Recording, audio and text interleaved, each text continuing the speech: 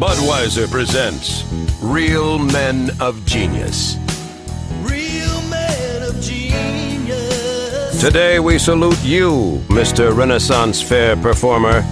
Mr. Renaissance Fair performer. You've taken the barbaric warfare of the 12th century and made it a great outing for the entire family. Quality time, yeah. Every night you stand in green tights and pointy shoes and proudly display your manhood.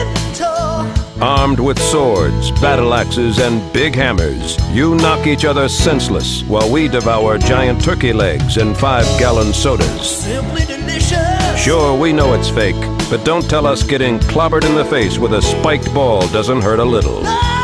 So this bud's for you, Renaissance guy, because you'll always be our knight in shining armor. someone get a stretcher. Anheuser-Busch, St. Louis, Missouri.